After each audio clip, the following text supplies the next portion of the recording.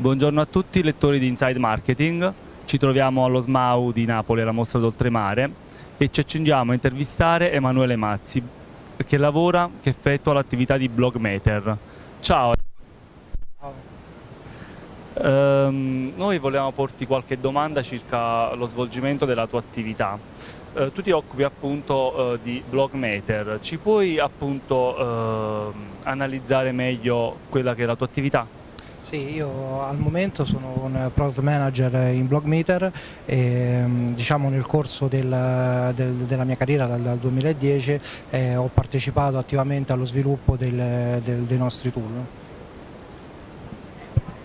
Grazie. Ehm, la seconda domanda, eh, per quanto riguarda appunto proprio eh, lo sviluppo della tua attività, quanto è importante l'automatismo e quanto diciamo, l'operato di una persona fisica? Allora diciamo che innanzitutto BlockMeter come caratteristica principale ha proprio il fatto che i tool sono sviluppati in, internamente dalla nostra società, quindi eh, sia, cioè, abbiamo internamente sia una fase di sviluppo, quindi produciamo eh, quello che è poi effettivamente il prodotto tecnologico che può essere dato alle aziende eh, oppure può essere utilizzato da noi internamente per produrre appunto una, una reportistica. Ehm, quanto riguarda appunto il, mm, eh, diciamo, il il lavoro di analisi di una persona fisica rispetto a quello della, del, della macchina eh, è dovuto da, quelle, da quelli che poi sono gli obiettivi del cliente, quindi se il cliente vuole un'analisi veloce, un, report, un, flash report, cioè vuole sapere soltanto eh, qual è stato il volume di discussioni intorno ad un certo argomento, che sia il suo brand, che sia un prodotto eccetera, oppure se vuole un'analisi molto più approfondita, è chiaro che se il cliente vuole un'analisi più approfondita rispetto ad un evento, rispetto ad un lancio di un prodotto, rispetto a, a una, una reputazione reputazione online del proprio brand, eh, ovviamente c'è bisogno di più tempo e c'è bisogno di una persona che, in, che, in, che, conosce la piattaforma bene, quindi che è in grado di andare ad analizzare quali sono gli insight della piattaforma, ma che, anche, ma che conosce anche il settore, quindi sa quali sono le cose più rilevanti, quali sono invece magari le cose più scontate da, da comunicare. Grazie. Uh, Un'ultima domanda. Uh,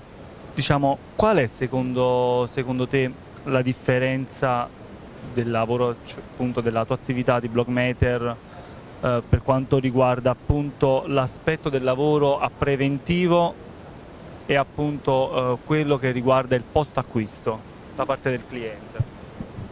Allora questo è sempre in funzione di quelli che sono gli obiettivi aziendali. È chiaro che se un'azienda vuole eh, utilizzare l'analisi del web, quindi l'ascolto del passaparola online prima di lanciare un prodotto vorrà sapere quali sono le caratteristiche che la rete ritiene più importanti eh, che, un prodotto abbia, quali sono le cose che sono piaciute di più anche della concorrenza, quindi andare a analizzare il base della concorrenza, sapere che se le persone apprezzano di più una certa caratteristica, quella caratteristica dovrà essere presente e soprattutto dovrà essere comunicata in una certa maniera, quindi è importante sia in fase di sviluppo del prodotto ma anche in fase di, eh, di pianificazione della comunicazione. D'altro canto se invece l'azienda vuole analizzare qual è la percezione del prodotto in, dopo il lancio, quindi andare ad analizzare quali sono le esperienze d'uso che gli utenti hanno fatto di quel prodotto, ovviamente l'analisi la farà a posteriori dall'uscita del prodotto e eh, verranno ovviamente eh, diciamo, integrati nella, eh, nella relazione quelle che sono le esperienze degli utenti, quindi gli utenti hanno apprezzato più una certa cosa rispetto ad un'altra e quindi l'azienda potrà avere un insight su quelle che sono le cose